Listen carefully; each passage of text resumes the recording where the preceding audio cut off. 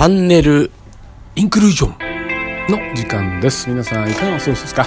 えー私は今仙台市青学一番町にあるアートインクルージョンファクトリーに来ています、え3連休の中、ねえーこうしてアートインクルージョンに来てくれているのはもちろんこの人。松根英樹です。どうぞよろしく。松根さん今日休みじゃない、休みなんですけど僕も行きたかったんで。ああもうね今日 AI ギャラリーで道加古典明日も頑張れます。この3連休無休で空いてますんでね、えー今日最初のお客様ってことですかねそうするとね。はい。明日も行きたいので。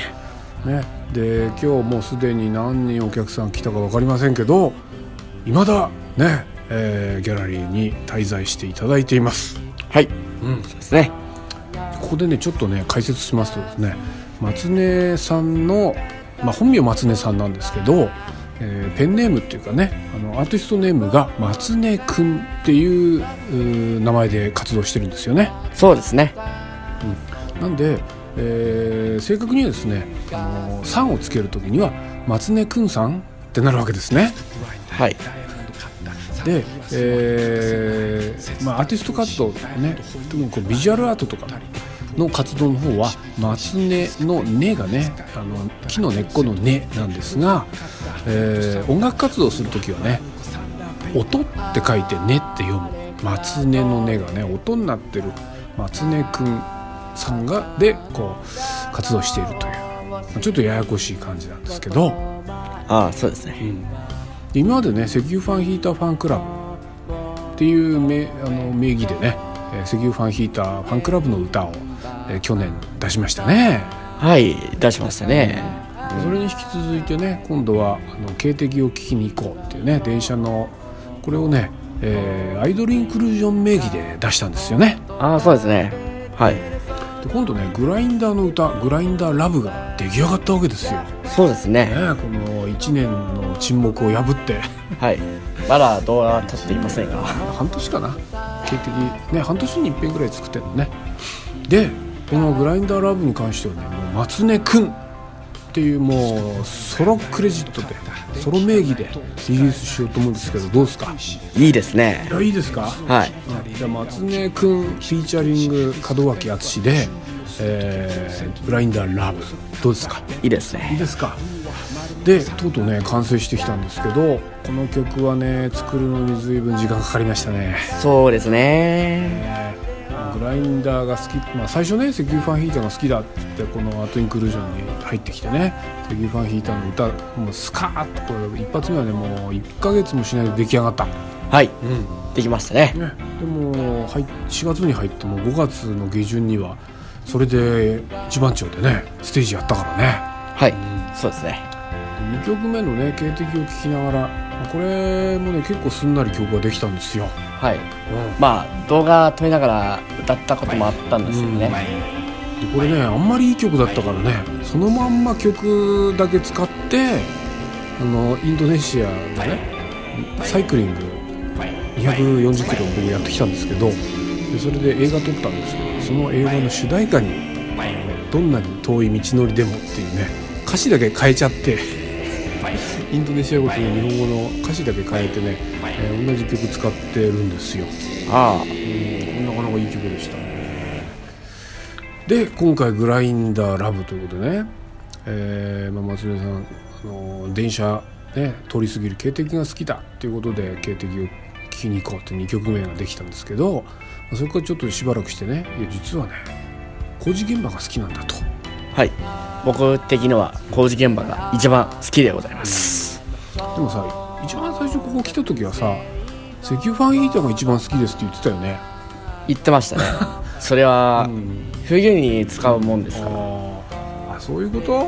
でやがてね電車の方が好きですみたいなことを言い出したんで電車の曲になったんですけどで今度さ電車の曲作ったらさ「いややっぱり工事現場が一番好きです」って。なんかそれってさこうなんこう興味が変わってんの？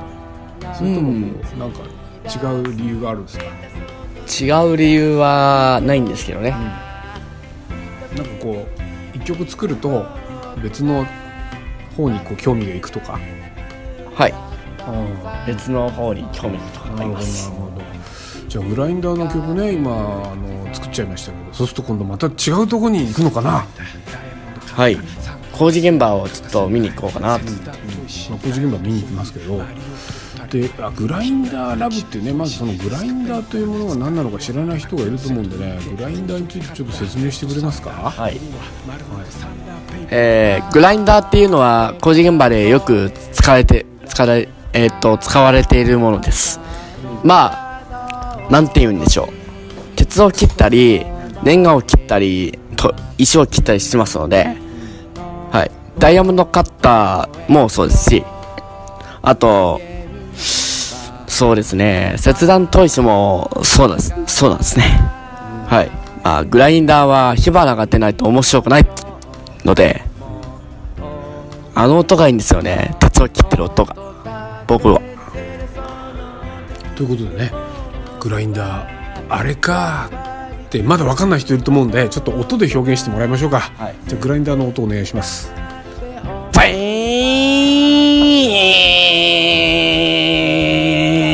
まあこんな感じですね。あああれかはいはいはいとね。あのなんだかわからないけどとりあえずあれねって分かったんじゃないでしょうか。あそうですね。えーということでね。えそれのどこがいいの？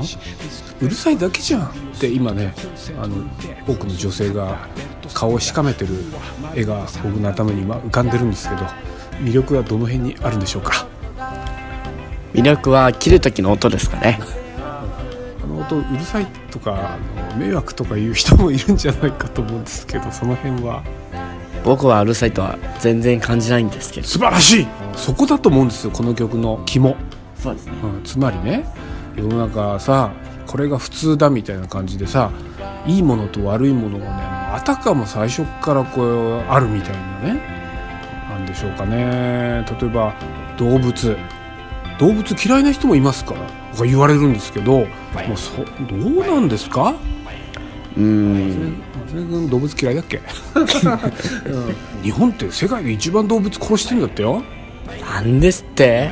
殺処分世界一だって。あら。ね。でそういうね社会から見ると動物をねなんかこうダメ店に入れるなみたいな嫌いな人もいますからみたいなのがね。でも一旦こうインドネシアとか行くとですよレストランだろうとカフェだろうと足元を見ると猫ちゃんがいるんですよ。いますね。ね、だからこうなんていうのかな。一方的にさこれはダメ。あれはみんなが嫌がってるとかそういう言い方ってちょっと当てはまらないんじゃないかな。例えばそのグラインダーですよ。騒音うるさい。工事現場。嫌みたいなね感じで言われるとこうそういうイメージできちゃうかもしれないけど松出さんから言わせると工事現場が一番好きなんだよね。はい。うん、やっぱねこういうね視点ってねすごく大事だと思うんですよ。そういうことをこう伝えたい。そうです、単に工事現場が好きな変な人みたいな風に見てほしくない。そうです。ということでね、えーとても素晴らしいナンバーできましたんで皆さんぜひ、えー聞いてくださいね、えーただねこれリリースがねまだ決まってないんですよああそうですね。リリースが曲はでねきたんですけどいつ頃リリースします？そうですね。なんか松根さんの誕生日とかいつなの？12月7日ですね。おあのパールハーバーみたいな。そうですね。えーっとねちょっと12月は遅いよね遅いですねもっと先なんで。ねもうちょっと早めに出したいですね。8月の15日とかどうですか？いいですね。いいですか？はい。ね。えーじゃあ8月15日を目標にあの PV の方も作っていきましょうか。はい。ということで皆さんまたお会いしましょう。さよなら。さよなら。以上。あったのだろう仕事の前に